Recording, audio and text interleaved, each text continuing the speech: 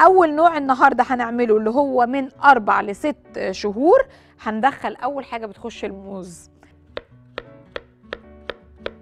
قطعنا كده الموز هنا شوية مية سخنة أهو. صغيرين قوي قوي ننزل عليهم الموز. مش عايزة أسلقه أنا عايزة